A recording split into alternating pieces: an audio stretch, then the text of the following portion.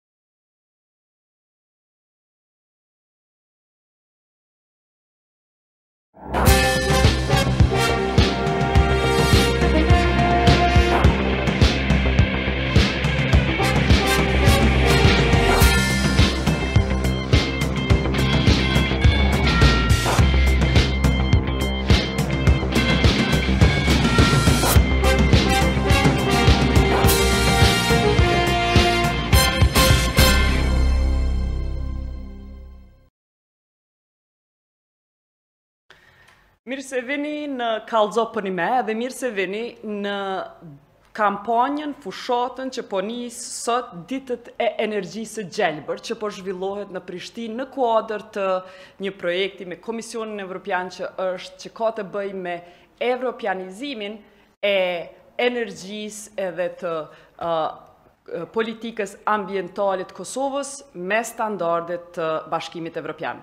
Sot jemi mbledh me panelistë nga Ministria e Ekonomisë, panelist nga deputet nga Parlamenti i Kosovës, nga ZRE-ja, nga sektori privat dhe shoqëria civile, me diskutu se ku është Kosova, sa i përket ku ka mri, sa i përket politikave me stimulu energjinë e ripërtritshme.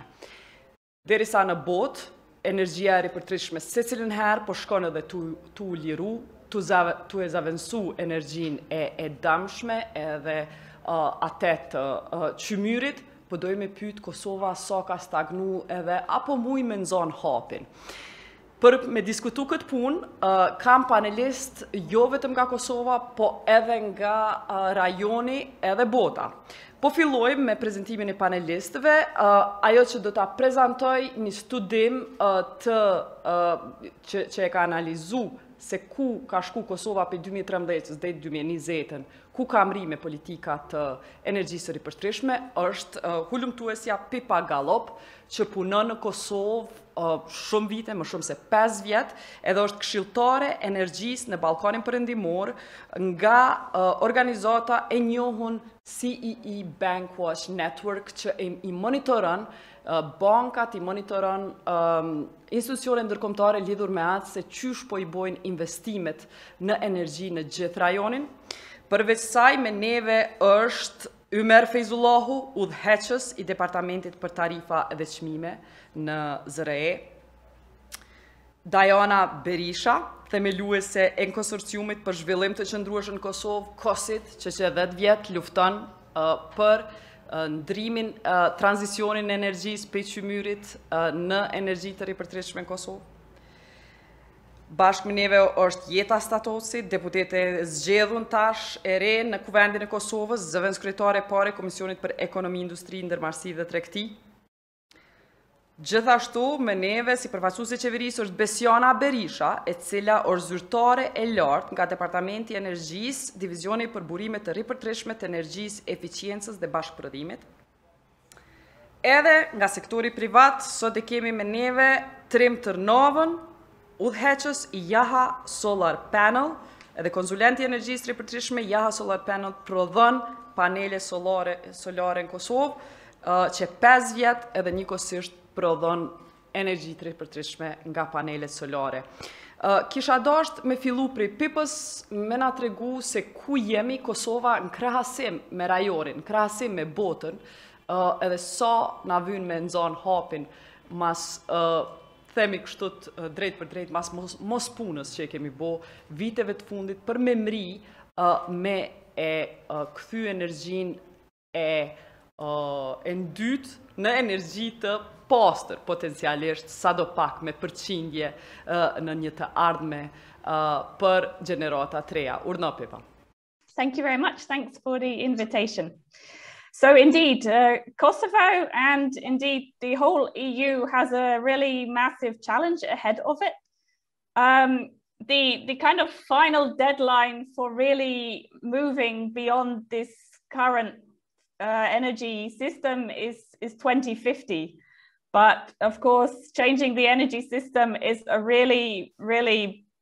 big and, and long term enterprise. And when you make investments in the energy sector, you have to start really thinking about them very, very long before. So, although 2050 might sound uh, like it's far away, in fact, it's really just around the corner. And um, decisions have to be made now. In fact, we are even quite late in some cases. Um, what actually has to happen in 2050 to, to give it a bit more detail is a process called decarbonization. And this, this word might be new in, in Kosovo and in the region uh, for now, but uh, what it means is that the the whole energy system in fact the whole economy has to switch from the situation where it's running on coal and gas and oil into a situation where it's running on renewable energy sources so the the whole western balkans in a way is is maybe a little bit um, has been a little bit slow with starting this possibly because they all felt like um, they felt like they already made some progress in this area. If, if you look at the the amount of wood that's used for heating, for example, and in some of the countries also how much hydropower is used for for uh, electricity, it seems like some of the countries already have a high share of renewable energy. But this is a very different matter from having the whole economy running on it and this is this is where things start to get difficult um, as i underlined also we have to take into account that when we speak about decarbonization we are not just talking about producing electricity we are talking also about the transport sectors and heating and this is this is also a major challenge because even for the countries which have started to produce a lot of electricity from wind or from solar, for example, um, they are still a bit behind on transport and heating. And the the other third kind of challenge of this is that this kind of process, it's not enough to just replace fossil fuels with renewable sources those renewable sources have to be sustainable. They have to be bearable for the environment because there is no point to stop using coal if we are just going to cut down all our forests instead or if we are going to spoil all our rivers by by building hydropower so this is definitely a, a real challenge to find the right balance uh, to build the right things at the right time and to, to also make the costs economically bearable for the population. So we are, we are in no doubt that this is a challenge. Um, but still it has to be done and not only it has to be done but it is it's also a positive process this is a chance to have a clean energy system an efficient energy system and an energy system where the citizens themselves are involved in in producing their own energy uh, so this is this is something which offers us the possibility to have cleaner air, cleaner cities, much more pleasant cities to live in. So although it is an, an obligation, it's it's something which we see as very positive. It's not just like rules for the sake of rules, and it's it's really needed to address climate change, but it's also something which will make people's lives more pleasant in general. So what we have seen um, so far in Kosovo in the planning up till 2020 um, is that the, the planning was quite unrealistic.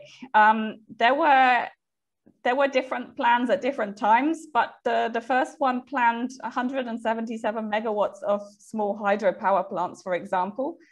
Um, and, and this was really not realistic. It, this was never going to happen with the actual potential that Kosovo has. And even where it did happen, of course, it turned out to be massively controversial. Um, what we saw in reality was that by the end of 2019, in the incentive scheme, there were 50.2 um, megawatts of, of hydropower. So it was really much, much less new hydropower than planned, but still we had massive controversy, communities resisting the construction of new plants, rivers running dry, people complaining that they, they have uh, lost their water supply and, and really uh, negative consequences. So it's clear that 177 wasn't megawatts was, was never going to happen. And unfortunately, despite all this damage, only 2.3% of electricity in 2019 was, um, was generated from hydropower. So despite all the destruction, the, the results were really not um, really not justifying the means because in the end we really did not get that much electricity for all this um, for all this damage. I think another issue that plagued Kosovo during this whole period when it was uh, planning up till 2020 was that it was very much distracted from planning renewable energy um, because it was uh, all the time concentrating much more on the Kosovo area coal power project and putting much more effort and money into this. And I think that that at the time the, the country was not really very serious about developing renewables. Um, another issue was, as I mentioned, that uh, transport and heating also need to be a clear part of this plan. And in neither of those sectors, there was a real plan for how to achieve the, the sub targets. Um, in the heating sector, Kosovo did manage to achieve its plans, but not really because it really invested, just because people continued to use wood for firewood like they always have done. So um, this is something that definitely needs changing. And in the in the meantime, um, I mean, there is a lot of pressure on the forests in Kosovo. There's a lot of illegal logging and a lot of illegal use of uh, wood for for heating. So this was this as well as hydro has, has already caused some environmental problems and increasing the use of biomass in the future would also increase these problems if it wasn't accompanied by much better uh, law, law enforcement. Um, then at some point it was obviously clear that these these plans needed to be changed to include more solar energy and so on but what happened then was that there was a revision of uh, the there was an administrative instruction issued in 2017 that changed the, the amount of each technology uh, that was planned. And there was even an increase seen in the uh, plans for hydro, which was definitely unrealistic. And also, there was a contradiction between that document and the energy strategy that was issued in the same year. Um, and the, the other issue that I just mentioned was the overall lack of environmental enforcement, which um, this is a this is an issue across the region. It, it's mostly so far been for hydropower and to some extent for biomass, but in the future we can see it all also for all kind of other forms of energy, including wind, that if you build the wrong thing in the wrong place and you don't ask the local people, you're going to end up with resistance. So this is extremely important to um, to make sure the environmental legislation is is adhered to, no matter what the form of energy. Um, as I said, in the end, the results were not so impressive. Uh, by 2019, Kosovo only had 5.15% of electricity from renewable sources. The figure I cited before was from hydropower, but altogether from, from including wind and solar as well, it was 5.15%. So this was really, um, really poor actually. Um, this was the, the lowest among the, among the uh, countries which are part of the Energy Community Treaty. Um, only Moldova had a smaller percentage than Kosovo. All the others had managed at least to to generate more um, more electricity. Some of them because they they had a lot of hydropower before. Some of them because they made a real effort and built some wind farms. But overall, Kosovo is definitely lagging behind, unfortunately. Um, if we look forward, there are there are some circumstances which make Kosovo now in a bit better position than it was then. One of them is that solar energy and wind energy are becoming ever cheaper. So um, the renewable energy development doesn't have to be so much limited by the availability of, of support mechanisms. Um, at some point, hopefully, it will become possible to, to build at least some of the um, plants without support. And in the meantime, the, the new system of support, which is recommended by the EU uh, based on auctions and premiums, is much less costly than the, the system until now with feed in tariffs. So this is um, an opportunity to, to do more with less money. Um, the other thing is that uh, since the, the, um, the, uh, and so the uh, electricity kind of European electricity uh, regulator has now decided to to accept Kosovo um, as its own state and to to have it in a group with Albania. This often this offers a lot of opportunities to to make the best of the fact that Albania has a lot of hydropower, Kosovo has a lot of coal, so it offers uh, more opportunities for, Co for Kosovo to put more flexible renewable energy into its energy mix. And, and I think also it's important that the, the Kosovo Ere coal project is now out of the way and that this has now opened up the space to really think about, okay, good, this is off the table, let's think about what to do instead and not to be distracted by, by this huge, really costly project, which kind of didn't leave space for anything else so I won't go into all the recommendations uh, from the from the analysis. There are quite a lot of them, um, but I would just emphasize a couple of them. Um, for example, as I said, I think the the the good thing is that Kosovo is out of the way, but I think a political decision needs to be made that Kosovo is really going to concentrate on sustainable forms of renewable energy and on energy efficiency. Um, I think it's no secret that Kosovo is, is wasting a lot of electricity, also in its um, not only through the use in households, but also through the distribution network losses. And some progress is being made, but I think this needs to go much faster because saving energy is, is the cheapest way to, to make sure that the, the country has enough and, uh, and to see what the real the real level of demand is. So this should be definitely the priority.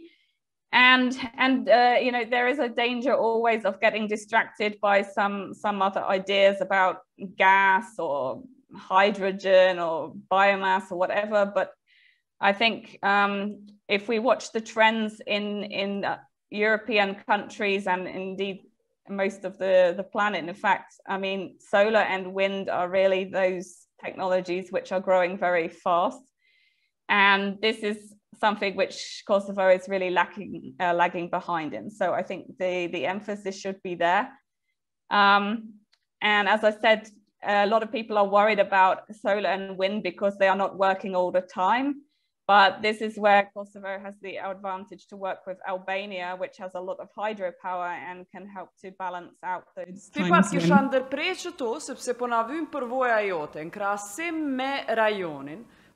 Po më intereson ku është Kosova sa është kompetitive për investitorët që dojnë me investu në energji të ripërtritshme si solare, erës, hidro faleminderit po na vyn, problemet janë të mdhaja. Unë në qëto dy fusha po du me të pytë masi e ke analizu rajonin, çka janë tu bo vendet tjera të rajonit, apo a ki naj shembull me na dhanë që ka mri shpejt e Kosova nuk po mrin për shkak një politike të caktume. Cila politikë është tu funksionu n'rajon që po i tërhek kta investitorë e Kosova jo? Well, until now the thing that was uh, holding back investors was the fact that Kosovo didn't offer incentives um, for very much solar energy at all. It, it was very, very conservative. And this was understandable because it was using the feed-in tariff system, which is very expensive. And so they were afraid to, to spend a lot of money on it. But um, this is not really necessary anymore because there there is this new system based on auctions and premiums which for example Albania is already trying to implement and Maced- North Macedonia also and so this this is a way of supporting renewable energy without spending so much money on it and also um, what I think is is really important is to give a political sign and this is this is what's been lacking definitely in the last couple of years. Um, all the countries in the region had their their kind of plans up till 2020 and their targets, and the there has been a delay with setting kind of regionally the targets as um, by the European Commission and the energy community. This process is still ongoing. And some of the countries have understood that this is a problem. They, they can't wait. Investors want to know what is the policy. So I would point to, to North Macedonia, for example, um, which made its own energy strategy and made it very clear that it is preferring solar and wind development and you know what whatever you know there are still things in this strategy that we might not agree with but they gave a very clear political signal that this is what they want. And I think that is a really important thing to give to investors. And then the, the, third thing that I would mention is, is again the rule of law, which I mean, this is a problem across the region, but investors have to know what is the legal system and they have to under, they have to feel that the legal system is going to be there, you know, co consistently and that, you know, it's not going to change every time the government changes and so on. So, I mean, a lot of this goes much wider than the energy sector. E di që sfidat ligjore janë kryesore për krejt investitorët, jo vetëm në energji të ripërtritshme. Por, uh, Pipa, mendon që fakti që në 15 vjetët e fundit, qeveritë tona kanë folë për investim masiv vetëm në qymyr, kryesisht qymyr, a i ka largu kjo investitorët seriozë të energjisë ripërtritshme me shku dikun tjetër n'rajon, edhe kurrë s'e kanë marrë Kosovën seriozisht, për shkak kësaj politike, edhe a ka investitorë, a mendon gjatë bisedave që i ke me investitorë të energjisë ripërtritshme që e marrin seriozisht Kosovën? Um, yeah, un unfortunately, I think you're right. I think Kosovo uh, has been giving the signs that it's not that interested. Um, luckily, some investors have been persistent. The, the wind farm is built, the Baigora one is under construction, some solar um, has been built, but overall, the, the, the signs given by the policy, it was uh, like a maximum of 150 megawatts of wind and maximum of, of um, in the beginning, even I think only 10, uh, 10, megawatts of solar, which is really nothing. So, so the whole time Kosovo was giving the sign that it's it's not that interested. So mm. yeah, I think that's that's a real issue that that needs to change. And this is where I see the, the difference between, for example, Kosovo and North Macedonia or, or Kosovo and Montenegro, that I think those countries are you know they also have problems with rule of law and so on but they they do still at least give the sign we are orienting to ourselves towards renewables and we want to go that way and I, I, think that in itself is is really helpful and then the yeah the the other issue is to have a very stable legal system that investors don't feel it's extremely risky to come and invest and i think i think in the whole region there's an issue with that i think um, many investors do still feel that it's quite uh, quite tricky to invest and and this is where i would come to the, the point about actually kosovo needing to make a maximum use of its own potential in the sense of uh, introducing what is called prosumers and this is where people have on their own rooftops solar um, panels and so on that that the actual the population can contribute to to both saving energy um, by having insulated houses, by using efficient heat pumps instead of just old style electrical heaters, um, and by having solar panels on the roofs and so on, both for electricity and for water heating. And, and this doesn't then depend so much on big external investors. This depends on having a good incentive scheme and getting people to to make the most of of the available um, opportunities. So obviously, money is needed for this, um, but it's it's something that should be done in parallel with developing the the legal system for for kind of bigger investors for bigger plants. Both are needed, of course. Um, we won't get away with with not uh, attracting investors into bigger plants. But I think uh, the whole region, not only Kosovo, has really not done enough so far to, to actually attract their own populations to, to invest in their own houses and, and in, in saving energy and also generating it.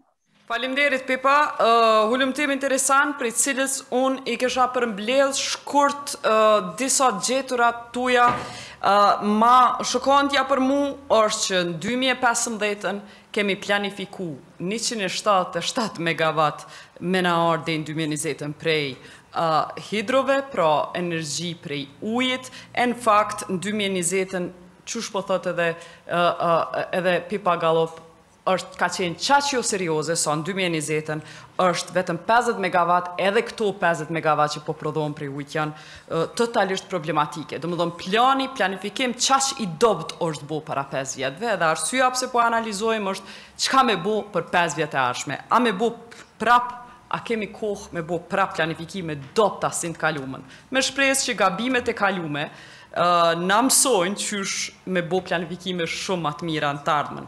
Dhana tjera prej Pippa-s me hulumtimit të saj edhe njëherë me i përmbledh, janë që Kosova e ka pas politikën tepër jo inkurajuse për investitorë në krahasim me rajonin Edhe pengesa kryesore këtu ka qenë që Kosova investitorëve nuk ia ka mundësu investimin me ankand apo me proces të hapun, po ka qenë me tarifë nxitëse që ka qenë shumë e shtrejtë për investitor, gjë që e kemi dëshmu edhe me hulumtimet tona që kjo është bo pikërisht prej institucioneve qëllimisht në fakt me me stimulu skema korruptive shumë ma shumë se me stimulu dhe me qenë e dobishme për për popullatën dhe për buxhetin e taksapaguesit, si dhe presioni i madh që e ka Kosova prej nxemjes dhe transportit i përmendi si disa probleme kryesore pse Kosova nuk ka energji të ripërtritshme sepse Nxemjen e ka me rrymë, transportin e ka me kere të vjetra dhe s'ka punu në politika që me ndryshu,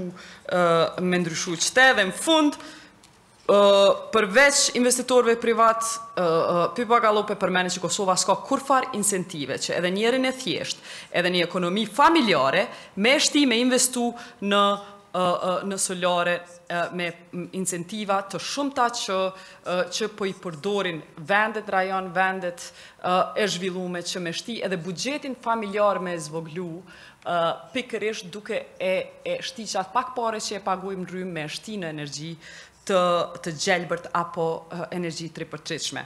Menjëherë po du me ia dhanë fjallës fjallën qeverisë së Kosovës, prej cilës po presim që në 5 vjet e ardhshme, ka me qenë ma e mençme se në Pesë edhe dhjetë vjetët e kalume lidhur me energjinë e gjelbërt. Besiana, çka o plani prej tash e tutje? Ça ka me ndru në qasjen e qeverisë lidhur me energjinë e gjelbërt? A kemi plan me stimulu apo jo? Përshëndetje për të gjithë, pra unë jam Besiana Berisha nga Departamenti i Energjisë, Ministria e Ekonomisë, si zyrtare e lartë për burime të ripërtritshme të energjisë. Aktualisht, Ministria e Ekonomisë është duke rishikuar strategjinë e energjisë, e cila deri tash domethënë është si draft. Po ashtu jemi duke punuar edhe në hartimin e planit për energji dhe klimë, që përfshin periudhën dy mijë e njëzet e një dy mijë e tridhjetë dhe gjithashtu jemi në hartimin e dokumentit për burime të ripërtrishme të energjisë, që është fillimisht si koncept dokument, përmes të cilit do të rekomandohen edhe opsionet më të favorshme për zhvillimin e sektorit të burimeve të ripërtrishme të energjisë. Deri me tani, domethënë grupi punues, i cili është i përbërë nga disa institucione, qeveritare ka dhënë disa rekomandime se si të shkohet tutje, domethënë një prej rekomandimeve kryesore është hartimi i ligjit të ri për burime të ripërtrishme të energjisë, në mënyrë që ne të jemi në harmoni edhe me direktivën e re për burime të ripërtrishme të energjisë, e cila pritet të miratohet nga Këshilli i Ministrave në Traktatin e Komunitetit të Energjisë, sipas parashikimeve në fund të këtij viti, në mënyrë që ne të jemi në harmoni me ata. të jemi të gatshëm që me transpozimin e kësaj direktive të jemi edhe të përfshihen edhe caqet e reja, domethënë caqet e reja të planit për energji dhe klimë do të përfshijnë tri lloje të caqeve, caqet për burime të ripërtrishme të energjisë, caqet për eficiencë të energjisë dhe caqet për reduktimin e gazrave serrë. Domethënë deri me tani kanë qenë tri themi sektorë të ndarë, burime të ripërtrishme të energjisë e efiçienca, ndërsa tash e tutje do të jenë me një plan të integruar, të përbashkët, ku do të jenë, domethënë, edhe masat edhe politikat e parapara për secilin shtet të Traktatit të Komunitetit të Energjisë, ashtu siç është edhe Kosova. Domethënë, na jemi në këtë fazë të hartimit të politikave që besoj do të jenë shumë të përpiluara me kujdes dhe në mënyrë realistike, në mënyrë që targetet të cilat të vendosen të jenë të arritshme në të ardhmen, që është një periudhë prej vit prej 10 viteve. Hmm. Dhe traktati i komunitetit të energjisë së bashku me Komisionin Evropian janë duke analizuar situatën për secilin vend duke marrë parasysh kriteret siç janë GDP-ja, potenciali i vendeve, në mënyrë që të vendosen edhe targete të përballueshme për secilin shtet të Traktatit Komunitetit të Energjisë. Ë Besjani përmendi pipa faktin që faktin kryesor pse i pengon investitorëve me ardhë në Kosovë, që nuk ka politikë për ankand, politikë të hapur për investim.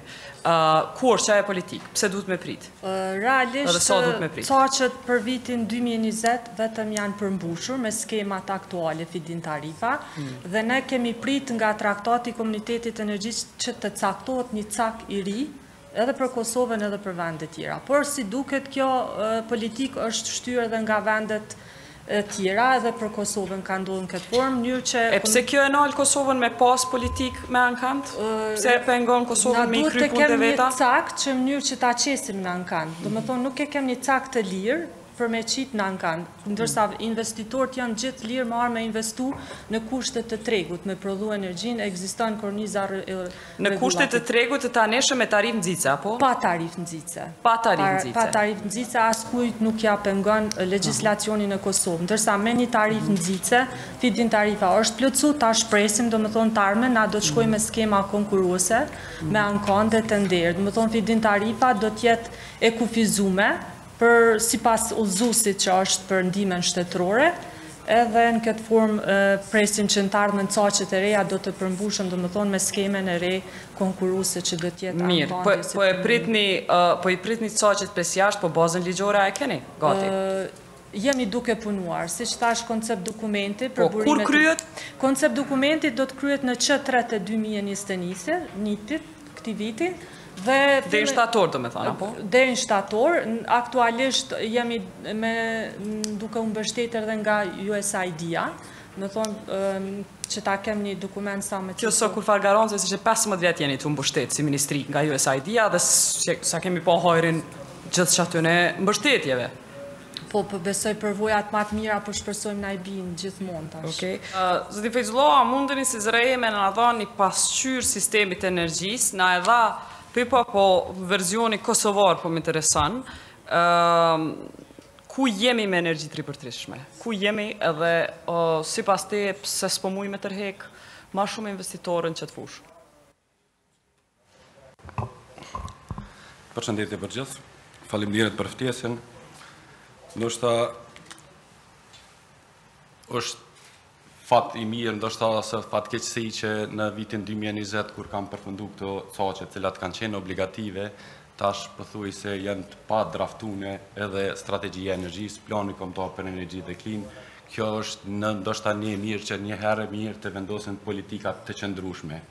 Kryesorja, pse deri me tani ka pas mos me thonë, edhe pse ne konsiderojmë që ka pas një zhvillim sa i përket burimeve të ripërtrishme, ka qenë që ka pas një mungesë të qëndrushmërisë të politikave lidhur me BRE-në. U përmendën këto zusi për ose caqet për burime të ripërtrishme, sa për informimin e juve, ato kanë ndryshu disa herë. Shumicën e vendeve ato vendosen për 10 vjetë. Arsyja pse vendosen për 10 vjetë, është një parashikushmëri e targetave të cilat ato do të realizohen ose ka si synim politika vendore. E pse ka ndryshu në Kosovë këta vermenja? Besoj që i dini edhe ju edhe gjithë publiku i dini arsyet, mirëpo unë po mundona, po unë po mundona po me... Që mësë mi bo gabimet, s'jemi tu lypë fajtorë, veç mos m'i bo gabimet prej tash e tutje. Na e kemi si staf profesional, thash, kur janë vendos caqet dy mijë e njëmbëdhjetë, e kemi vendosur që të bahet një studim me mbështetjen e Bankës Botërore dhe mbas atij studimi kemi bërë një studim se cila është politika më e mirë për implementimin e këtyre caqeve. At, edhe atëherë kanë qenë feed-in premiumi, ankandet, feed-in tarifa dhe forma e subvencionimit direkt. Mirëpo meqenëse Kosova në atë kohë ka qenë shumë treg i vogël dhe burimet e ripërtrishme në atë kohë kanë qenë jo shumë si të them konkurruse me teknologji tjera, sugjerimi ose rekomandimi i Bankës Botërore ka qenë që të shkohet me feed-in tarifa apo me tarifë nxitëse që t'i nxisim investitorët me ardhë me investu në Kosovë. Dhe kjo politikë është dalë e suksesshme dhe janë realizu pothujse shumica e projekteve të fillu prej 2011-ës sipas vendimeve të ZRrE-së deri në 2017. Në 2017, stafi i ZRrE-së ka rekomandu meqenëse kemi pas tash nxitje të mjaftushme dhe nuk ka pas nevojë që të nxiten se investitorët kemi ardhë, kemi vlerësu dhe kemi rekomandu që të shkohet në forma tjera të mbështetjes siç janë feed-in tari, ato feed-in premiumet dhe ankandet. Mirëpo, politika kjo besoj që Stafi profesional nuk është në nuk ka qenë e mundur që të të, të ndryshojë politikat nacionale. Prandaj konsiderojmë që feed-in tarifa për kohën kur është apliku ka qenë e qëndrueshme dhe ka sjellë rezultatet e sajna. Përmes me thonë që pothuajse rezultatet e pritshme, ku përafërsisht ne si vend meqenëse jemi palë kontraktuese e sekretariatit, thuj se vendi i vetëm jemi që i kemi arrit targetat, edhe pse disa konsiderojnë që edhe zonja e përmendi që ndoshta nuk ka qenë shumë ambicioze, mirëpo duhet shikuar edhe potencialet ose mundësi që i ka pas Kosova. Duhet theksuar se Kosova në atë kohë është shikuar që sa i përket hidrocentraleve ka qenë Edhe potencialet kanë qenë të pakta. Veç përkujtona cilat caqe janë ndryshuar me udhëzimin administrativ dy mijë e shtatëmbëdhjetë që e përmendëm pak atë. Cilat caqe janë ndryshuar?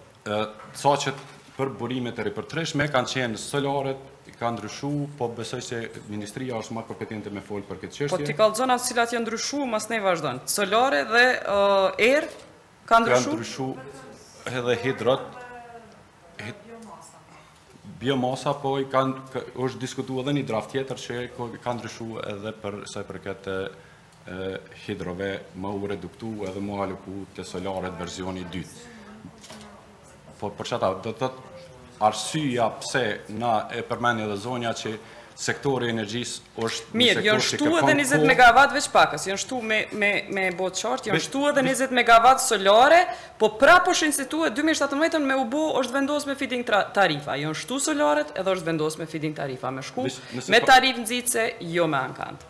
Veç nëse ka mundësi ta përfundoj pjesën e parë. Sa i përket thashë, Caqeve ZRRE-ja do të thotë fidin tarifat për kohën kur janë vendosë në vitin 2011 edhe qëllimi ku ka qenë është ka qenë edhe rekomandimi i gjitha palëve në veçanti studimi i Bankës Botërore që për m'u arrit ky target i cili ka qenë caku obligativ i vetmi ose zgjidhja ma e mirë e ma e duhur në bazë t'atij studimi ka qenë fidin tarifa.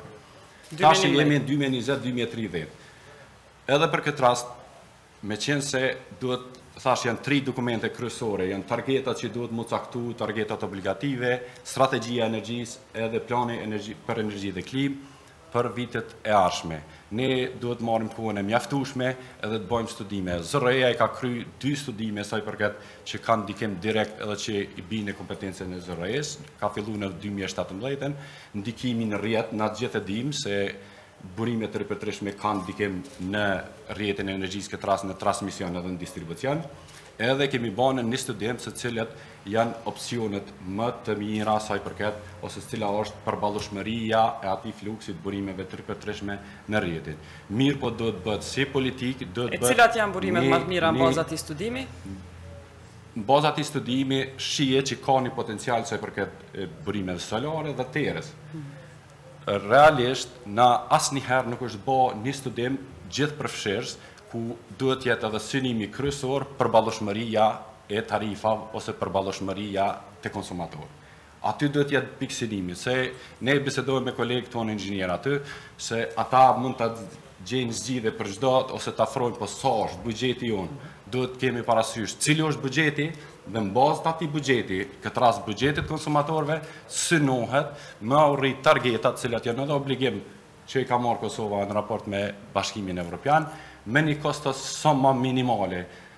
Edhe ky studim nuk është ende në proces dhe do duhej që tani kur janë këto tri dokumente në proces të diskutimit të jetë një prej prioriteteve në mënyrë që mos të kemi ndryshime ose pasi të vendosen këto politika ose mos të kemi ngecje duke pas parasysh edhe problemet që kemi Mirë, masi po flasim sakt për qëtë mundësinë e investimeve, sa është tarifat, sa, sa kushton me investu në energji t'ripërtrishme. Menjëherë po du Trim me ta dhon fjalën sepse ju qe pesë vjet me pa qëto dokumente qe pesë vjet jeni tu prodhu panele solare a jon tu u liru edhe a munet xhepi i kosovarve nëse e bojm një analizë kshtu me kqyr a mujm a kemi hesap si kosovar me qët buxhet që jemi me qët rrogë mesatare me hi në investime të me e pagu si konsumator energjinë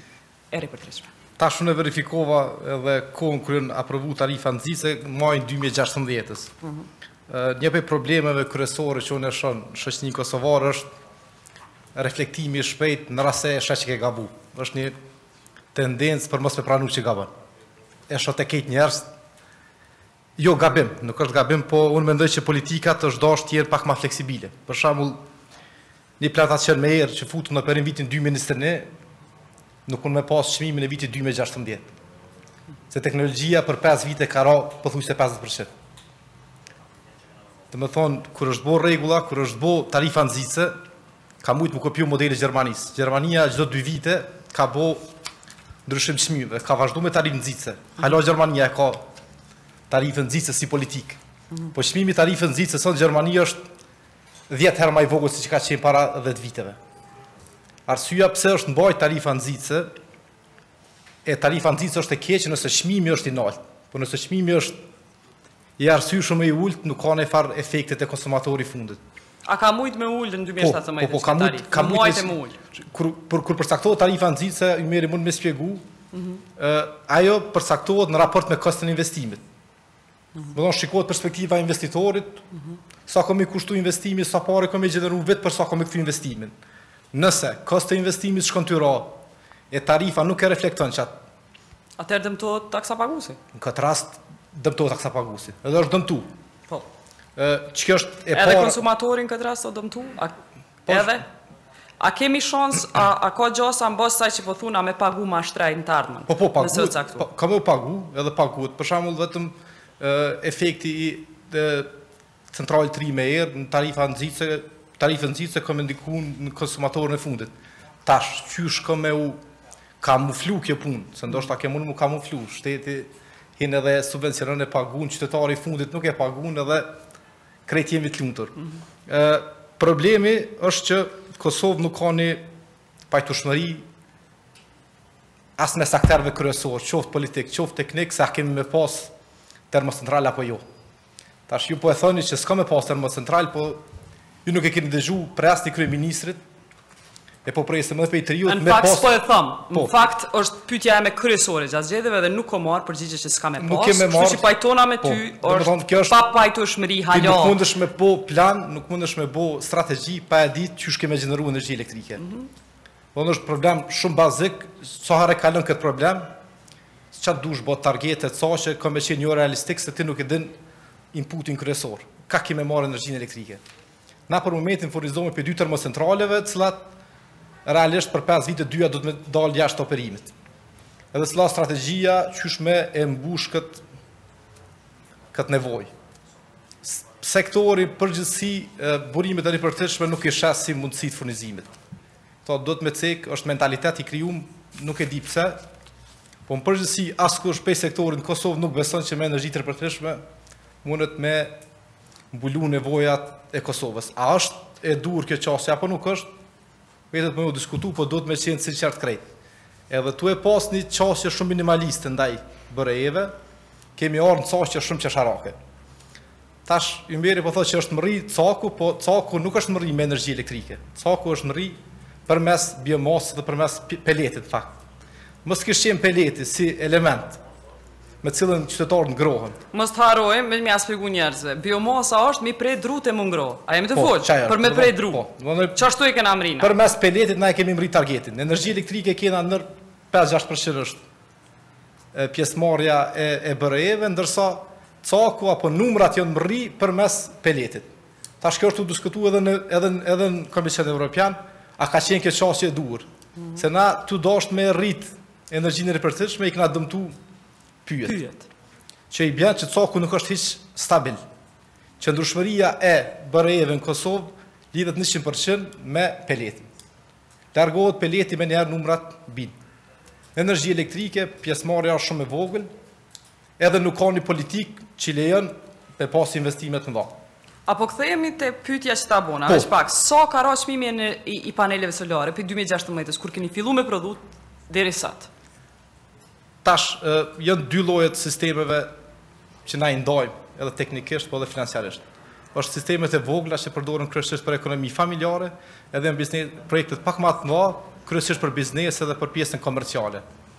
Në Kosovë problemi tek shtëpitë është për me qenë feasible janë tri arsye kryesore. E para është çështja e TVSH-së, e cila nuk është e rimbursueshme.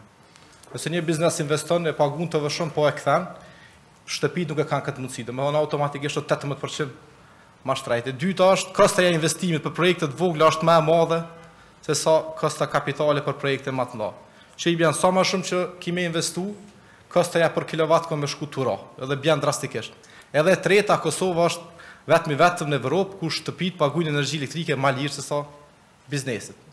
Gjermania është e kundërta. Domethënë, për shembull në Gjermani një shpi pagun 28 cent, biznesi pagun 12 cent.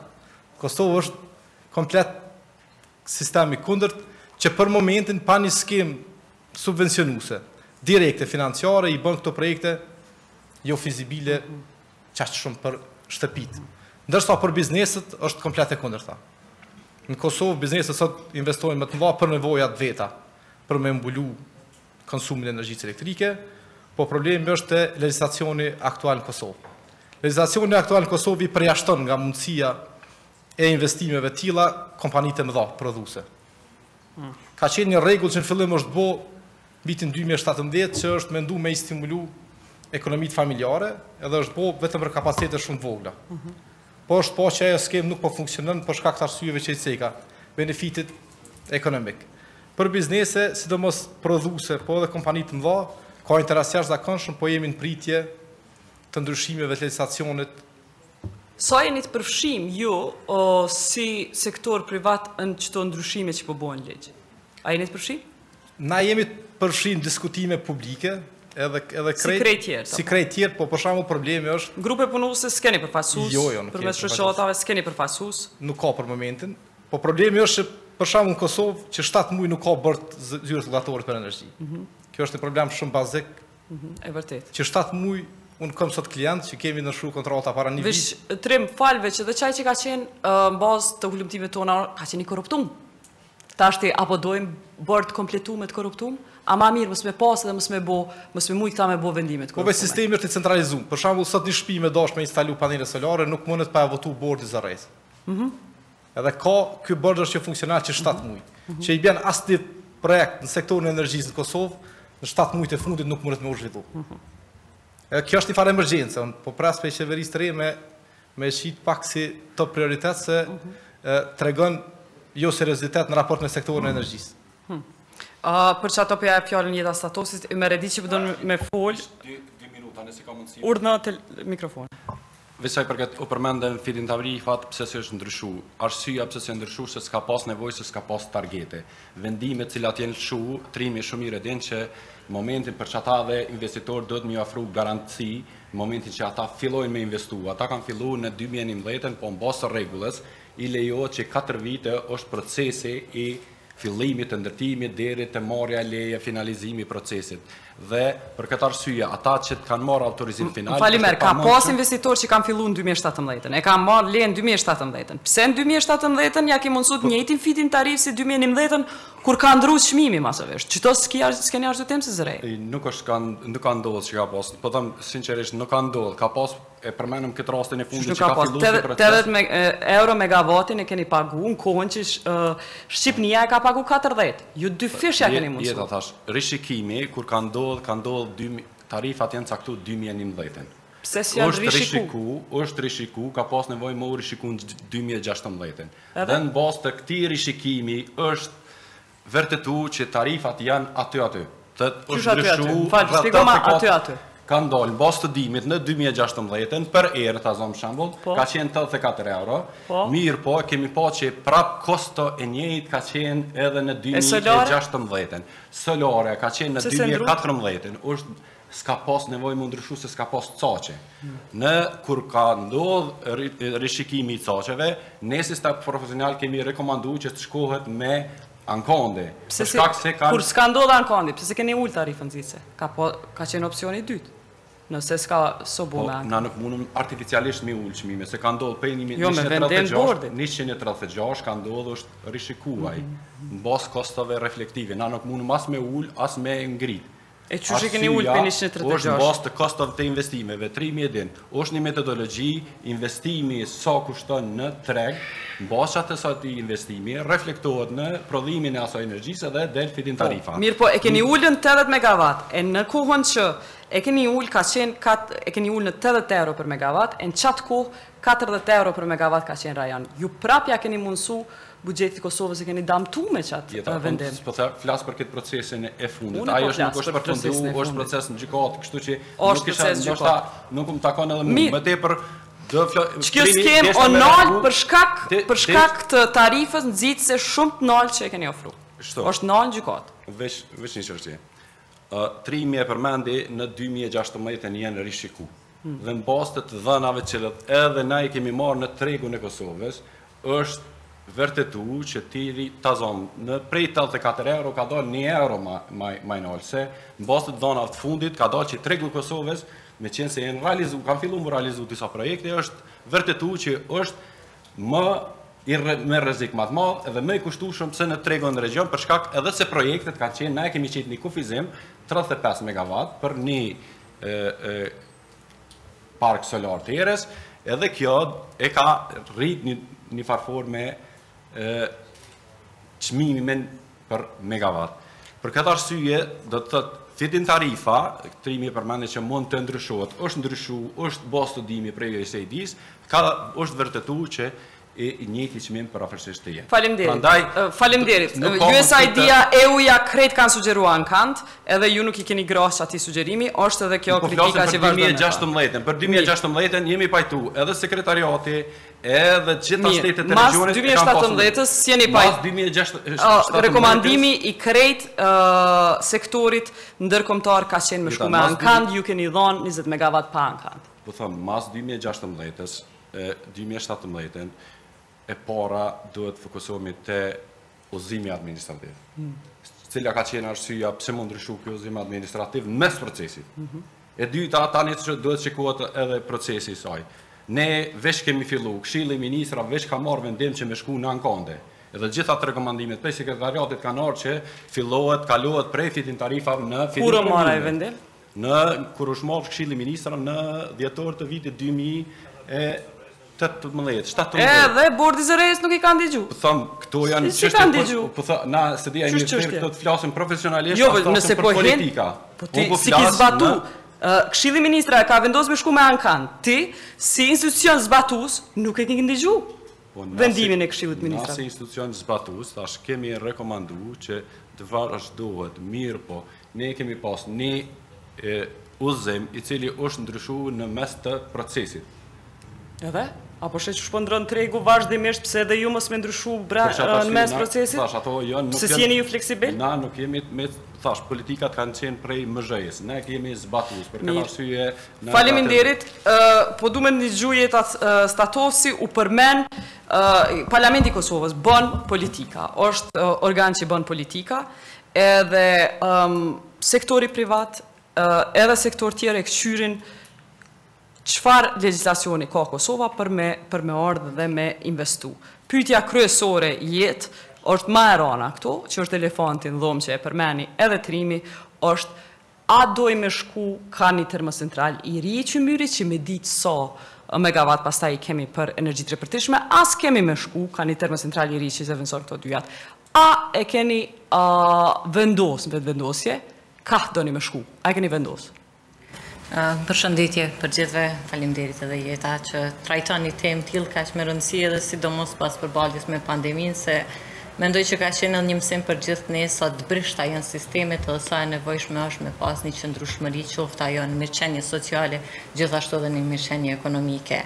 Andaj vëmendja e kemi pa dhe nga vendet e Bashkimit Evropian edhe më gjerë, pra është kthyer krejt tek burimet e energjisë të ripërtrishme sepse ë ndihmojnë inovacionin, krijojnë vende të reja të punës, gjithashtu e na krijojnë një ambient më të pastër edhe më të shëndoshë, një ekonomi më stabile, edhe një mirëqenie të përgjithshme më të qëndrueshme dhe një ekonomi më të qëndrueshme. Ëm tash si tani si Kosovë pra pas përballjes me pandeminë, sigurisht që ëm Qëllimi kryesor është të rimëkëmbemi nga një situatë e tillë dhe e dimë që kryesisht si dy segmente kryesore në të cilën do të koncentrohet kjo rimëkëmbje ose investimet kryesore do të jenë pra në segmentin e ekonomisë, te vendet e punës të cilat janë të humbura, mirëpo gjithashtu edhe në segmentin e, e shëndetësisë. Um, element tjetër pra ne dimë që në këtë fazë në këta muaj pra dhe pritet që të kemi buxhetin e Kosovës që të vijë në rishqyrtim, ku pritet pra të ketë edhe disa pika që preken edhe mbi pakon e rimëkëmbjes ekonomike, kështu që ne shpresojmë që krahas segmentit ekonomik dhe shëndetësor, gjithashtu të trajtohet edhe çështjet e ambientit, sepse nëse flasim për buxhetin familjar, sigurisht që ulja e kostos së energjisë elektrike ose ngritja e eficiencës së energjisë elektrike ndihmon buxhetet familjare në mënyrë që të kemë një rimëkëmbje më stabile, mirëpo gjithashtu edhe të ulet barra barra financiare.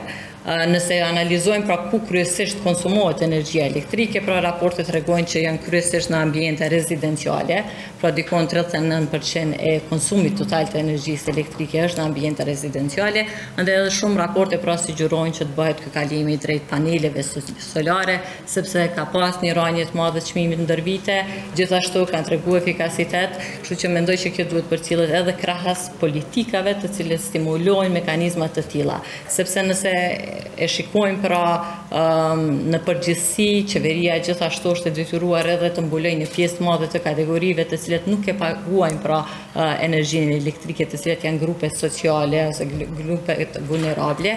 Raportet pra tregojnë që dikon 40% e popullatës nuk arrijnë ta ngrohin shtëpinë në nivelin e duhur. Mesatarja pra e vendeve të bashkimit evropian, sillet te dikon rreth 8% e në Kosovë pra është një një një shifër e me çka keni me adresu që ti si parlament? Tashti nëse shikojmë pra me thënë të drejtën nga ana e Komisionit për Ekonomi, kryesisht varemi mjaft shumë edhe nga plani legjislativ i qeverisë, Plani legjislativ i qeverisë për këtë vitin dy mijë e njëzet e një nuk është që ka diçka specifike në raport me ligjet të cilat i trajtojnë burimet e ripërtërishme. Po ju mundeni vetë me inicu, kërë konstitucional si deputet me inicu, po nëse keni ide. Pa, pa dyshim mirëpo, um, u përmend edhe paraprakisht që tani është duke u punuar në koncept dokumentin e ligjit për burimet e ripërtërishme energjike, energetike, kështu që mendoj që sigurisht që ky draft më së largu pra brenda vitit të ardhshëm ose fillim vitit të ardhshëm do të vijë në kuvend. Unë i ftoj, domethënë, edhe investitorët privatë, mirëpo edhe shoqata të tjera të ndryshme që të vijnë të takojnë Komisionin për Ekonomi dhe të gjitha këto segmente ose dilema ose hallet e tyne që i kanë në raport me tregun, t'i paraqesin në mënyrë që edhe deputetët, përderisa janë në një koordinim të plotë me qeverinë, gjithashtu të kenë mundësinë që përmes amandamenteve, pra t'i adresojnë këto çështje. Dhe kudo që është e nevojshme, pra të intervenohet në mënyrë që me bo një ambient sa më efikas edhe më të përshtatshëm për gjithë. Kurse mendoj që këtu pra u përmend edhe disa çështje tjera që janë është duke u punuar ose do të punohet edhe në strategjinë për energji, që besoj që edhe ligji duhet të jetë konform strategjisë për energji, të cilën do të punojë dhe do të angazhohet Ministria e Ekonomisë, gjithashtu edhe Plani Nacional për Energji dhe Klimë, çështja e klimës pra u përmend edhe nga ekspertja që është pra e ndërlidhur mjaft shumë me çështjen e energjisë së ripërtërishme.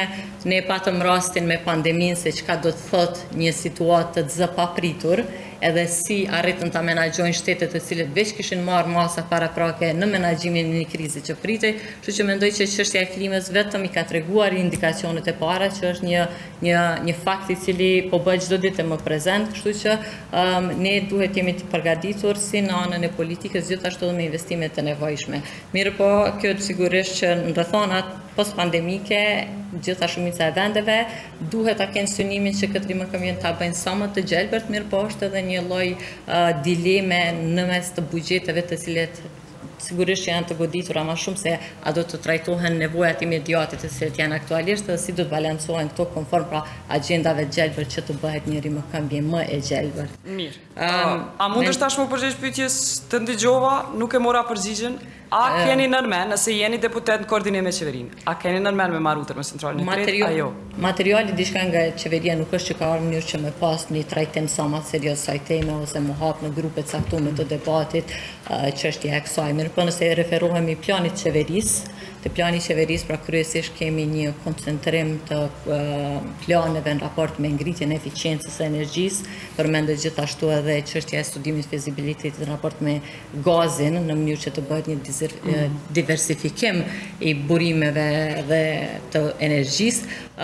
Gjithashtu përmendet edhe mundësia që përmes fondit të efiçiencës së energjisë të stimulohen dhe të subvencionohen mekanizmat të cilat ndihmojnë. A përmendet qymyri në qat plan të qeverisë? A përmendet qymyri, zhvillimi i qymyrit, energjisë të qymyrit a jo? Nuk ka diçka specifike të përmendur në sektorin në pjesën ku trajtohet pjesa e energjisë elektrike.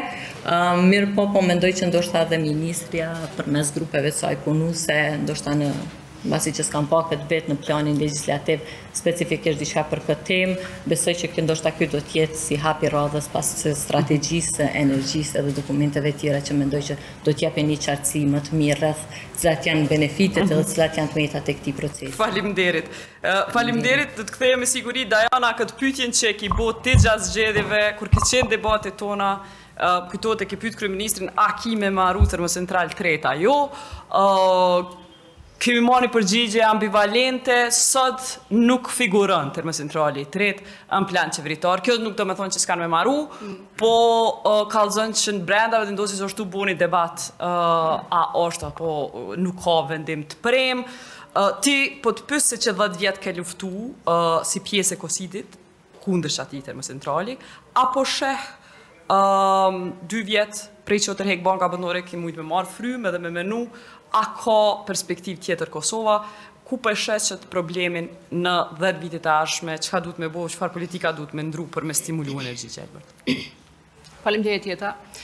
Debatet brenda partive politike janë të mirëseardhura, sepse Në një mënyrë debati sjell rifreskon çdo lloj mendimi dhe sjell sjell në vetvete inovacion në, në mënyrën e të menduar, sidomos në raport me sektorin e energjisë, që është një prej sektorëve ma, ma fragjil dhe ma, ma i nevojshëm për një ndryshim drastik Kështu që në këtë kontekst, debati brenda Vetëvendosjes, nëse realisht po ndodh, është goxha i mirëseardhur. Edhe do të vetëm për qartësim, për mendoj që nuk kemi realizu ndonjë debat, nuk ka qenë ndonjë aktualitet sepse nuk po reflekton aktualisht as planin legjislativ që me trajtu ma në detaje si temë. Atëherë po e rifrazoj përgjigjen time, nëse nuk ka debat, atëherë po i kthehem mendimit që ende brenda establishmentit të ri politik ka individ që e e shohin ose përpiqen ta majnë status quon e sektorit të energjisë aty ku ka qenë ma herët, pra me investime në qymyr. Kështu që ky është ky është mendimi im me sa kam mbrit mhm. me kuptu dhe me dëgju dhe me lexu deklarata dhe me lexu nën rreshtat e mhm. deklaratave të deklaratave të ministrave. Po shpresojsha që ka ka debat. Na e kemi me ju, unë e përfaqësoj KOSID-in, ne nuk kemi marrë asnjë ftesë publike prej jush. Sa i takon tash pjesës së investimeve apo punës që KOSID-i e ka bo për më shumë se 10 vjet, E përmendëm që ndryshimi i sektori, ndryshimi në në sektorin e energjisë është një ndryshim radikal, është një ndryshim që merr kohë, është një proces, po flasim për dekarbonizim. Dekarbonizimi n'radhë parë kërkon një konsensus nacional, pra kërkon një të kuptuar në radhë parë prej qytetarëve çfarë po ndodhe, çfarë do duhet ndodhte, dhe kësisoj kërkon një konsensus nacional në atë se si dhe ku duhet shkoj Kosova. Së dyti, duhet patjetër të ekzistojë ai sinjali politik që e përmende më herët, që sinjali politik vjen prej vizionit politik në cilin vendi duhet të shkojë. Nëse nuk i kemi këto të dyja, ose nëse këto të dyja janë në mënyrë të paqartë për, për ne si shoqëri civile apo për sektorin privat, atëherë dhe mënyra se si ne komunikojmë me qytetarin apo se si sektori privat, përfaqësues sektori privat komunikojnë me investitorët, Ka me qenë edhe ai ambivalent, i pasigurt, i paqartë për shkak se nuk e dimë saktësisht nga po shkojmë. Është me shumë rëndësi po e theksoj nga pikpamja, nga pozita ime si përfaqësues përfaqësuese e shoqërisë civile që mos të mos t'i humbim kapacitetet ekzistuese të shoqërisë civile që për vite e vite kanë luftu ose kanë kundërshtu projekte të dëmshme të në sektorin e energjisë, siç ka qenë termocentrali Kosova e Re, për të cilin unë kam punu ma shumë se 10 vjet gati. Unë bashkë me mm. kolegë kuptohet, me organizatat tjera, bashkë kemi realizu kaq shumë emisione investigative për situatën e njerëzve të shpërngulur me forcë prej zonave të Hades dhe Obiliqit me qëllim hapjen e minierave të reja të termocentralit. Kësisoj nëse i humbim këto kapacitete Nëse humbim këtë memorie institucionale brenda për brenda sektorit shoqërisë civile, atëherë kjo është një fatkeqësi për vetë sektorin, por njëkohësisht është një fatkeqësi e madhe për të gjithë shoqërinë kosovare, e cila pastaj mbetet edhe e, e përfaqësuar nga organizata që ne në gjuhën tonë i quajmë mushroom organizations, organizata që financohen veç për të thënë që po financohet shoqëria civile në Kosovë në adresimin e çështjeve të sektorit mjedisit, të energjisë. Edhe diçka tjetër që e vura re dhe s'po du me ia lanë fajin Mrizit, ka një dinamikë interesante mes institucioneve politikëbërëse, hartuese dhe institucioneve implementuese. Mungesa e koordinimit mes këtyre institucioneve, si dhe nivelit lokal, pra komunave, është një fenomen që vrehet në këtë vend, e kam vrejt për vite vite me radhë, vazhdon me ekzistu, Dhe kjo në vetvete reflekton mungesën e sinjalit politik apo të asaj që vizionit nga do duhet të shkojë vendi, vizion ky që nëse këto institucione nuk e kanë, atëherë vështirëson akoma më shumë punën edhe të shoqërisë civile për të folë me qytetarët, për t'i shpjegu rëndësinë e paneleve solare, investimit, për të folë për rëndësinë e dekarbonizimit dhe për ta në një mënyrë për ta demokratizu komplet sektorin e energjisë në në Kosovë. Ëm tek vetëm tek çështja e debatit edhe një herë po ndalem ëm arsyetimi ka qenë se nuk ka pas ndonjë aktualitet rreth kësaj teme. As s'është reflektu tek programi legislativ. Uh, menimi po i jot, je njeri që merresh me shëndetësi. Menimi jot personal si deputete, ia ke dhon premtimin dikujt për votën tonë që ki me çu politika të caktume. Ça menon ti? Menja jote po më intereson për termocentralin e tretë. Damet e tilla janë mjaft të mëdha në raport me shëndetin, barrën e Damet e kujt? Damet e përdorimit të lignitit një pasuni që ka. E ça menon ti si, si, si deputete e re? A duhet Kosova me pas termocentral? Kam trajtu në detaje, kështu që ndoshta më e rrugës ish kan pak me i pa dokumentet edhe studimet e fizibilitetit se çfarë raporti, e di. Me shumë dëshirë kisha pas që me pas një një mendim të definum mirë, por nuk është që e kam trajtu si temë. Kështu që mendoj që ndoshta edhe në këto grupet, kur do të diskutojmë tema, kur, kur të jetë aktualitet, sepse programi i qeverisë kryesisht thekson edhe potencon kryesisht tek politikat edhe tek stimulimi i politikave në raport me energjinë e ripërtëritshme. Mirëpo edhe te grupet punuese që u përmendën edhe një herë bëj thirrje si investitor privat mirëpo gjithashtu edhe shoqëri civile me na thaku Komisionin Ekonomik. Po na kemi qef me ditë deputeti jonë çfarë politika do me çu. Ekonomik, sigurisht që kjo do të definohet më tutje pasi që të kemi dokumentacionet, besoj që Ministria e Ekonomisë do të bisedojë me ekspertët e vet në hartimin e strategjisë edhe me akterë që i ka partner për me pa një situatë sa më qartë. Mirëpo edhe shoqërinë civile si Komision Ekonomik na zakonisht Palë të interesit vazhdimisht takohemi me ta, edhe nëse nuk është temë këto ditë para ardhjes së ligjit, mirëpo edhe pasi të vijë ligji, ju ftojmë t'i dërgoni edhe rekomandimet tuaja që me pas mundësinë edhe ne me ndërhy aty nëse thjesht ka ndonjë mungesë potenciale gjatë procesit. Ndoshta veç sa i përket konsumatorëve, meqenëse zonja deputete e përmendi, ndoshta është Shpesh herë harrojmë që ata duhet të jenë prioriteti joni. Për me përmend, i përmendi konsumatorët në, në nevojë, duhet me u theksu se në bazë ligjit të aprovun në 2016, është një klauzolë aty ku i obligon Ministrinë e Ekonomisë dhe Financave që të bëhet një studim edhe konsumatorët nevojë se deri me tani prej vitit Prej pasluftes ende nuk është ba ni fond për konsumatorët në nevojë. Deri më tani janë mbështet vetëm kategoritë sociale, do të thotë ata që janë nën asistencë sociale dhe kategoritë këtë rast veteranët edhe një pjesë e tyne, ndërsa pjesa tjetër qysh kërkon ligji prej dy mijë e gjashtëmbëdhjetës, edhe pse rregullatori e ka ba një studim dy mijë e njëmbëdhjetën, edhe tani me përkrahjen e NARUC-ut e kemi ba studimin edhe pse e kemi dorëzu edhe Ministrisë së Mirëqenies Sociale, edhe Ministrisë së Zhvillimit Ekonomik, ku janë përfshirë edhe Ministria e Financave, ende nuk kemi marrë apo nuk është finalizu ky proces. Tani e kemi është angazhu edhe Banka Botërore që t'i përfshijë edhe disa kategori tjera në raport me skema tjera sociale dhe kjo është urgjente, se është kërkesë ligjore të cilat në çdo raport progresi ose dhe në çdo raportim me sekretariatin na u theksohet që Kosova ende nuk e ka i identifiku kategoritë edhe konsumatorët të cilët janë në nevojë. Se na e dimi janë rastet sociale, por po janë edhe një kategori që janë pensionistët apo kategori të cilat nuk mundën me përballu këtë faturë të, të, të, të energjisë elektrike. Prandaj, i, i kisha sugjeru edhe qeverisë s'ardhshme, po edhe deputetëve, që të koncentrohen se është kërkesë ligjore që të finalizohet sa ma shpejt ky. Edhe e, e fundit për mos me për mos me mbet borxh sa i përket burimeve të ripërtrishme, që mos të thohet që rregullatori është është bllokues i këtij procesi, gjithë burimet e ripërtrishme, të cilat dojnë me ardhë me çmime konkurruese e me çmime tregut, janë të hapun edhe mund të vijnë. Arsyeja pse rregullatori tash e tutje e ka ndërprej feed-in tarifën, do të thotë që ne kemi thënë që aktualisht nuk ka nevojë për subvencione. Na jemi tu diskutu. Ju e keni ndërprej se keni proces gjyqësor. E keni ndërprej edhe pse keni proces gjyqësor kundër vendimeve që keni marrë, se kanë qenë korruptive. Jo veç pse e keni ndërprej se s'ka caqe.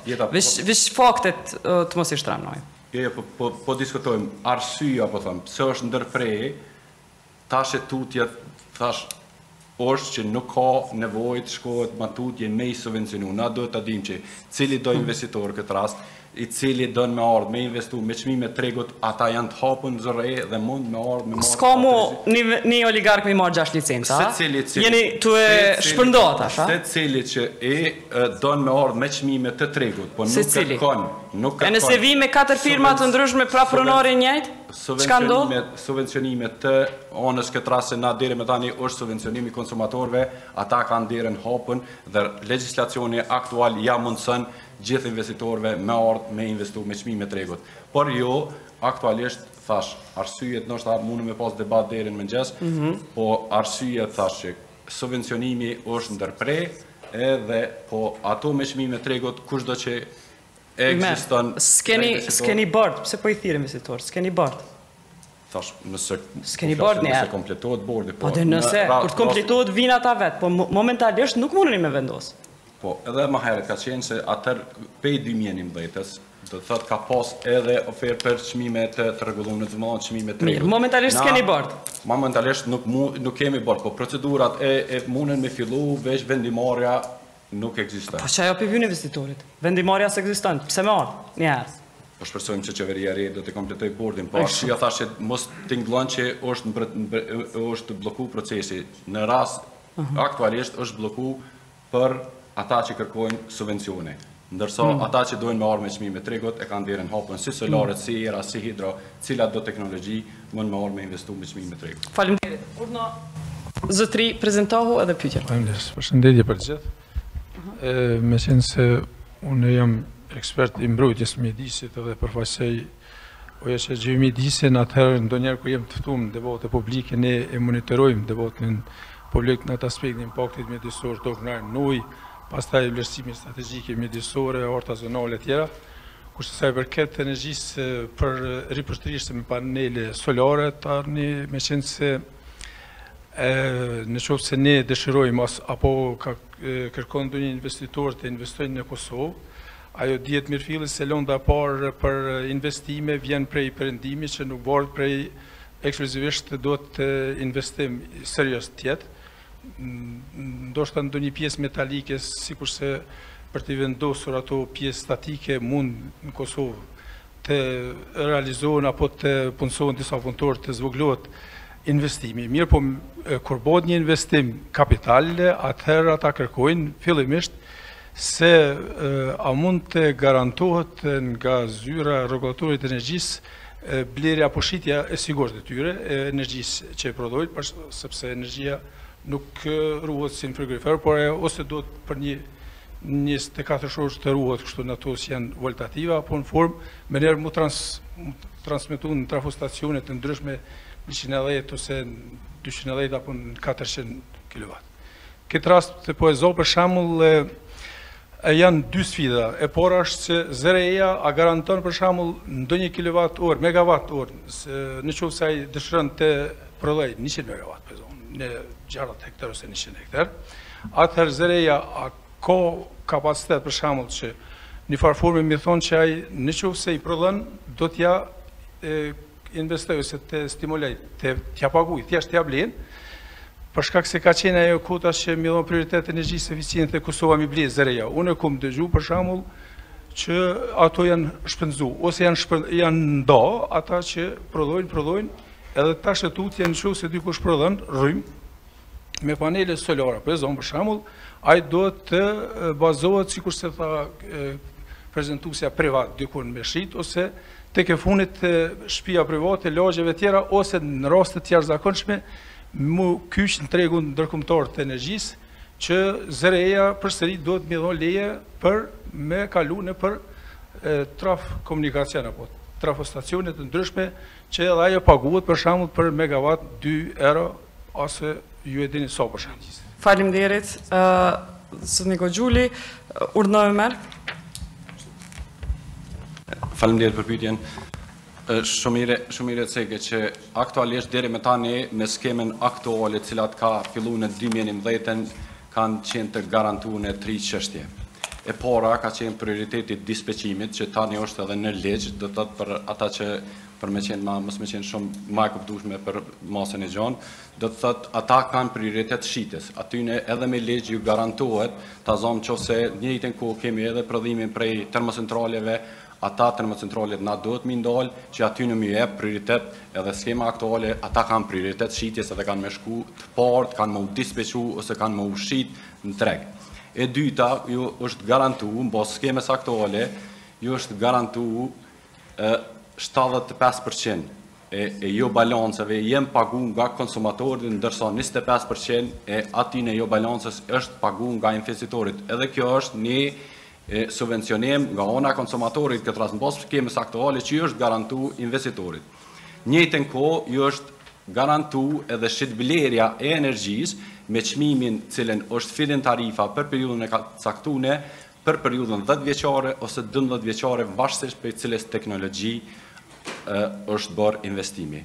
Prandaj edhe kjo i ka garantu komplet investimin e investitorëve ose e teknologjisë caktune në bazë të çmimit të garantu. Aktualisht, tash skemat si tash, tash është çmimi i tregut, i garantohet prioriteti i dispeçimit, ndërsa çmimi nuk ka çmim, është çmimi i tregut, edhe jobalancet nuk paguhen nga ana e konsumatorëve, siç thashë shtatëdhjetë e pesë për qind, po ato jobalance do të paguhen të treg. Po cilido që e sheh të arsyeshme, të leverdishme, me ardhë me investu në tregun e Kosovës, me skemën aktuale, mund të vijnë dhe të investojnë dhe ZRRE-ja ju garanton çmimin e tregut. Cilido, na e dim që çmimi i tregut n'Kosovë Varion si çdo vend tjetër, por ata duhet ta vlerësojnë rriskun.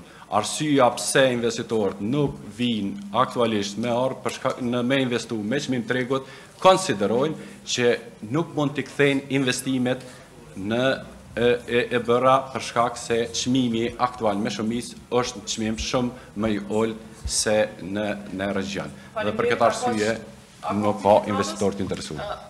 Faleminderit. Unë veç po du me shtu qëtu. Me, me shtu pytjen me bo pak ma specifike. Um, zoti Gogjuli pyti për investitor që dojnë me ardhë prej s'jashti me investu shumë, po, po më intereson një individ pronar i shpisë.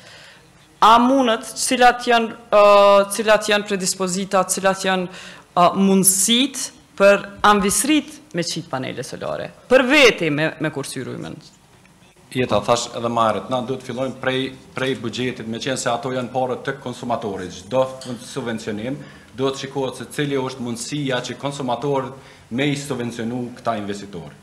Në ZRRE-ja, e nëse investitori, veç... fal, veç nëse investitori është am, amvis, nuk është kompani, a po- ka mundësi një individ mu, mu subvencionu a jo? Për qëta, për qëta, për po thamë, arsyja, na fillimisht kemi, kemi targetu, në bazë skemës aktuale, konsumatorët shtepiak, amvisninë dhe bizneset e vogla. Pse arsyeja? Arsyeja ne kemi dashtë një pjesë të konsumatorëve me i subvencionu bizneset familjare edhe familjet konsumatorë shtepiak me iu mundësu këtë skemën aktuale që është prosumer. Mirëpo, për shkak se çmimi aktual cilin e ofron këtë rast tregu ose kesko është shumë më i ulët se investimin që ata do të bëjnë dhe nuk kanë leverdi, siç e përmendi edhe zotnia, shumë pak për mos me thonë hiç, kemi Çka duhet me bo për me pas leverdi një amvisni? Çka duhet me bo? Trimi e përmendi që ka disa biznese, cilat janë të vogla, deri 100 kilovat, që kemi të interesun edhe për këtë formë të skemës mbështetëse. Edhe ne kemi thonë, kjo është fillimi ose procesi i parë që që kanë bërë shumica e vendeve me i jep prioritet shtëpiakëve, deri në njëqind kilovat mund të gjitha bizneset të cilët e kanë kapacitetin e instalum deri në këtë nivel. Po më intereson, a i keni dhënë dikujt, domethënë, a ka marrë licencë dikush jo, përvojën po më intereson, a ka amvisëri vetëm pak, jo, a ka amvisëri në Kosovë që ka marrë licencë për me prodhu rrymë prej solareve që s'o biznes, veç për shtëpi, a ka të tillë? Ka, po është so. numri i vogël. Nuk e di me numra sa ka, nuk e di me numra, po janë mm -hmm. publike, dhënat janë publike në uebfaqen e ZRRE-së. E di që janë publike, po pres ju po, me na i thonë n'televizor. Nuk e di saktësisht sa ka okay. shumë, po them, janë edhe ma, sa, numri ma i madh është te bizneset e vogla, mm -hmm. cilat kanë ardhë, për shkak se e, e, e përmendi edhe Trimi, çmimi te bizneset është ma i lartë, dhe për këtë arsye ka leverdi të investohet se kthimi i atij investimi është ma i shpejtë se te konsumatorët shtëpiak. Okay. Çka deshta me thonë që tash e tutje edhe në bazë të rekomandimit të sekretariatit na kemi fillu procesin e diskutimit të skemës ardhshme të burimeve të ripërtreshme, ku në qendër të edhe në bazë të direktivave të Komisionit Evropian janë prosumerat. Deri me tani e gjithë energjia që është prodhu nga prosumerat nuk është hy as në targetin të Në fakt çka janë prosumerat për shumicën e njerëzve? Prosumerat janë qita konsumatorët që prodhojnë. Ndërsa sa i përket kategorisë që e përmendi edhe Trimi, ata kanë mundësi, mbi njëqind, kanë mundësi me ardhë edhe me u regjistru si gjeneratorë, po jo si prosumerë, për arsye se na kemi thonë që në bazë gjendjes të rrjetit edhe buxhetit të konsumatorëve, kjo është përballueshmëria e konsumatorëve dhe ky është niveli që na mundëm me i subvencionu.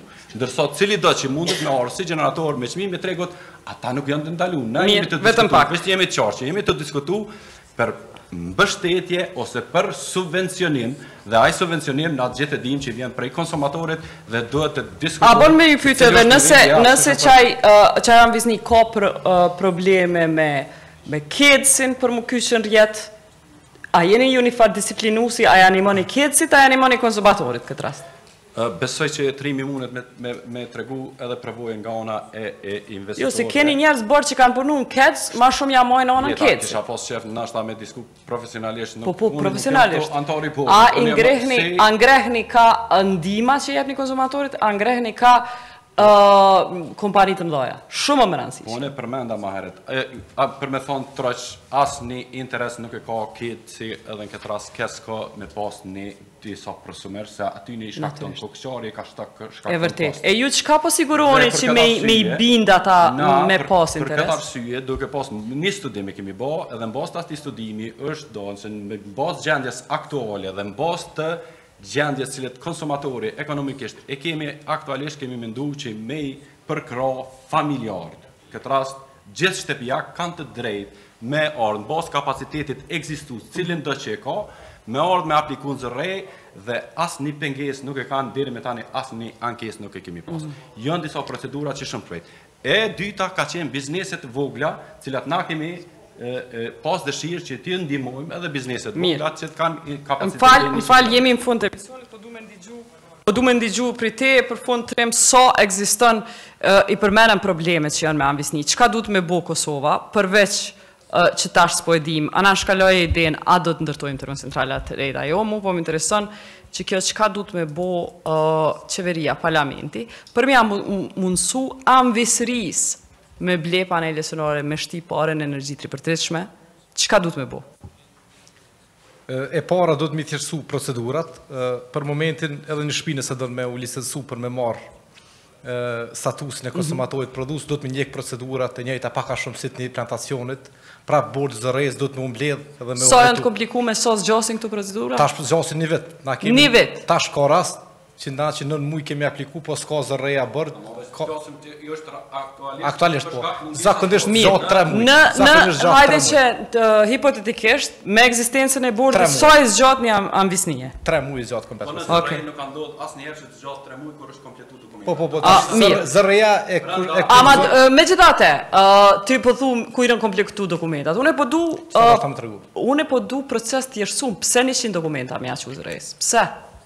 Sa dokumenta duhet për me e marrë një letër? Procesi është i komplikuar se kur është Njëjtë si një kompani si një amvisni. Është identik i njëjta. Gabim? Domethënë duhet një pëlqim komunal. Kosovë është një problem shumë i madh legalizimi i objekteve. Mm. Ka shtëpi që është ose është funksionale, është pagu taksa po nuk është legalizuar për shkak që procesi është ndalë. Mm. Kjo automatikisht e ndalon komunën për m'ia lëshu qat pëlqimin që e lyp ZRRE-ja për me licensu si prodhues. Domethënë është problem bazik edhe nuk nuk nuk është tejkaluar ende. Sepse shumica e njerëzve që dojnë janë shtëpia, që dojnë panele solare dhe ato s'janë të regjistruara. Që në Kosovë potenciali momentalisht është te bizneset. Hmm. Potenciali ekonomik edhe financiar Edhe benefiti ma i madh për momentin është te biznesit. Tek shpit, Falë, veç na e hapim një bunar për ujë, pse mos me qitë edhe solare? Oshtë potenciali edhe te shpijat. Do është domethonë, largimi i TVSH-së. Kosova nuk është tu marrë TVSH prej solarëve për shpijat. Nuk është tu e mbush buxhetin e Kosovës prej TVSH-së që e merr prej shpijve. Domethonë, largimi i TVSH-së nuk kish me pas kurrfarë impakti në mhm. buxhetin e Kosovës, se na nuk jena tu marrë TVSH prej shpijve. Domethonë, është një hap i parë që automatikisht e ul Koston investive. E dyta, procedura me u thjeshtu. Duhet me qenë një one stop shop që përmendet në 50 konferenca dhe rishtas. Gjithmonë. E kurrë nuk është bo dhe s'bohet. Kurrë s'bëhet. Nuk është onë sa mu bëhet, mm. se s'bohet, nuk funksionon. Dhe nuk mm. mujnë me ulë njerëz kompetent, edhe me u thjeshtu një procedurë. ZRRE-ja domethonë, neve na vyn qiky pëlqim, ndërsa komuna thotë, na nuk lshojmë ksi pëlqime. Mm. Në gjitha komunë, më është dashtë me marrë zyrtarin e komunës me i tregu çka ka dashtë ZRRE-ja. Nuk e fajsoj ZRRE-në se e di që i ka njoftu krejt komunat. Unë e kuptoj tash nivelin institucional në Kosovë, po për me u zhvillu qikjo teknologji, na duhet me ndrru krejt mindset. Mm. Do të Mentalitet. Duhet me pas një qasje mm. që punët me u kry shpejt pa konsumu afati i fundit. Domethonë nëse ti aplikon në komunë dhe afati o 30 dit, 95% të rasteve pëlqimi të lshohet ditën e 30. Kjo është hm. dekurajuse për shkak se është një mentalitet i tillë që Nëse një punë mund me u kry sot në ora 3 e gjys, le kryhet nesër në ora 9. Është një një koncept i tillë që e bllokon. Hmm. Qikjo, qito dy qasje e kishin ndryshu se tash ka një interesim edhe prej bankave që me me i financu këto, këto projekte. Kur banka aktivizohet, secila shpi, qato pare që ka pas me pagu KESCO-n, e pagun kredinë e bankës, dikur e kthen investimin edhe bëhet Treg pak më atraktiv. Faleminderit. Te dokumentat me formë. Ndoshta për për për publikun. Aktualisht procedurat ndoshta ka mundësi me u thjeshtu, po nuk mundet me u heq një çështje që është do të thotë siguria. E para, duhet me pas një pëlqim, edhe për ZRRE-në ka qenë shumë më e lehtë që mos të kërkohen këto dokumenta. Janë dy dokumente kryesore. Krejt jo, ideat janë shumë të mira. S'mund jo, është një herë një tonë me thonë jo, jo, po faleminderit për jo, idenë. Jo, kë, shumë ide të mira, mirë me u thjeshtu. Edhe Trimi e, e, e përmendi që Aktualisht janë dy dokumente kryesore, dy dokumente kërkohen. Një dokument kërkohet prej komunës, prej drejtorisë të urbanizmit ose një drejtorie që i lejojnë edhe banorët rreth ose ka që me u vendos ato panelet edhe nuk i rrezikojnë konsumatorët tjerë. Dhe i dyti dokument me rëndësi që janë dy dokumente kërkohet se cili është konsumi i tij aktualisht ose si konsumator për shkak se rregulla. E ku e din, Valbre, ku e din komuna? Na kemi agjencion si ju ZRRE. Ku e din komuna a e rrezikon paneli solar? Po.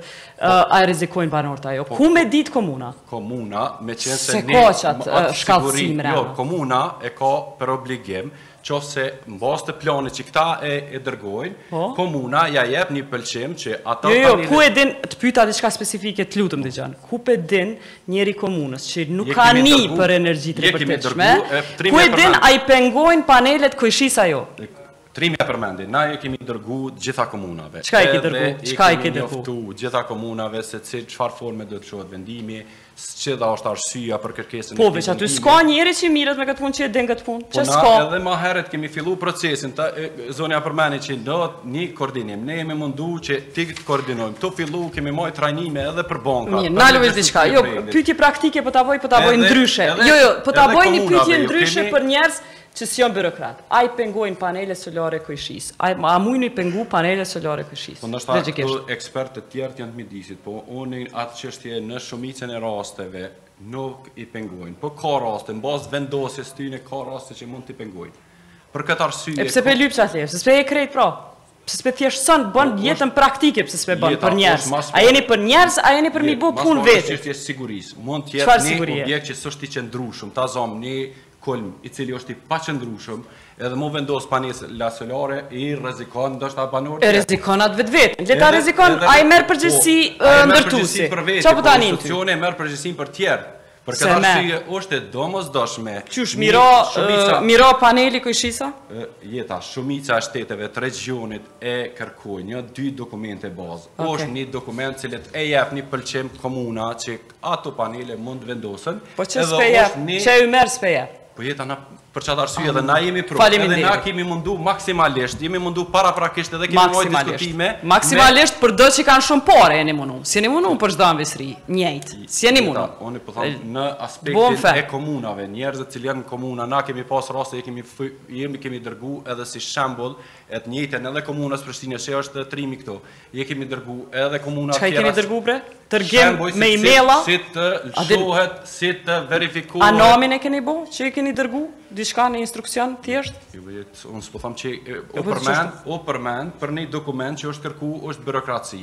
Shumica e vendeve të regjionit janë minimaliste, janë dy dokumente. Shumë Një dokument që lëshohet një pëlqim prej komunës dhe një dokument kryesor që lëshohet prej KEDS-it që le është Ti pe përmen po njerëz po të thojnë s'di a po ndigjon. Njerëz po të thojnë është i komplikum, edhe që ky qysh është, është i komplikum. Ti vazhdo me menu që pe bën punën mirë, njerëz jashtë institucionit po thojnë që është i komplikum. Vazhdoni ju me menu që i bëni punën. Edhe kemi diskutu që tri mirë sot. Sa dush diskutojeni, puna po vazhdon me stagnu shumica njerëzve menojnë që është proces i ngarkum S'e keni one stop shopin. Që sa vjet folet pi përmeni USAID-a, s'e keni one stop shopin. Për një mështeri të thjesht që me shku me një ven. Nuk e keni. Që vesh një shërë. Që nuk e keni. Edhe ZRRE-ja ka qenë edhe për në kuadër që s'po du me shfajsu këtë proces. Mirë. Mor, Trimi e din edhe investitorë tjerë të të BRE-ve e din. Që nëse din. Që në kuadër të atij one stop shopi edhe kur është kërku edhe ZRRE-ja ka qenë pro këtij one stop mhm. shopi, edhe ka jep kontributin e saj, edhe në bazë të një hulumtimi nga Fichtneri, është dalë që ZRRE-ja aktualisht, sa i përket burimeve të ripërtrishme, 70% ka dalë mbi të gjitha institucioneve, sa i përket byrokracisë. Besoj që edhe ka qenë hulumtim direkt me investitorë. Prandaj asnjë procedurë, jemi në krahasim me shtetet e regionit, procedurat, s'po flas për këto dy vitet e fundit, Si kanë ndodhur komplikimet. Po flas për periudhën e mëhershme. ZRRE-ja ka dalë si një nga institucionet të cilat ka qenë më pak byrokratike dhe ka dalë më e rangunet mbi 70% e intervistuesve. Këtë rast si rasti i Trimit ose investitorë tjerë, kanë dalë të knaqun me punën e ZRRE-jës jo.